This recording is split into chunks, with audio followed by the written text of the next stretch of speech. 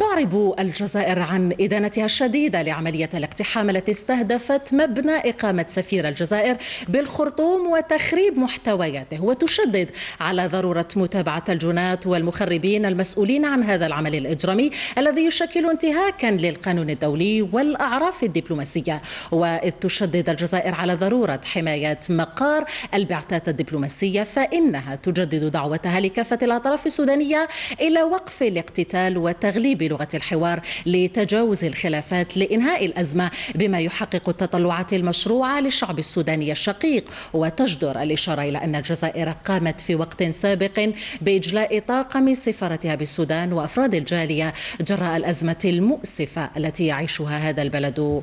الشقيق